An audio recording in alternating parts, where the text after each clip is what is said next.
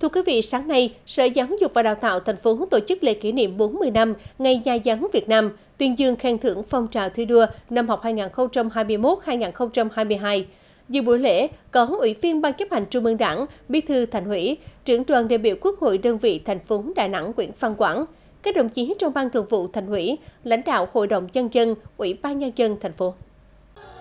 Buổi lễ đã ôn lại truyền thống tôn sư trọng đạo tốt đẹp của dân tộc và những dấu mốc thành tích đáng nhớ của giáo dục của thành phố Đà Nẵng. Để đáp ứng nhu cầu ngày càng cao về chất lượng, hiệu quả giáo dục, đặc biệt là công cuộc đổi mới căn bản toàn diện giáo dục, đào tạo, đội ngũ nhà giáo và cán bộ quản lý giáo dục thành phố không cần học tập, trao đổi kinh nghiệm, nghiên cứu, ứng dụng tiến bộ khoa học kỹ thuật để nâng cao trình độ chuyên môn nghiệp vụ, đổi mới công tác quản lý, đổi mới phương pháp dạy học, Đến nay, toàn ngành có 100% cán bộ quản lý và giáo viên đạt trình độ đào tạo chuẩn.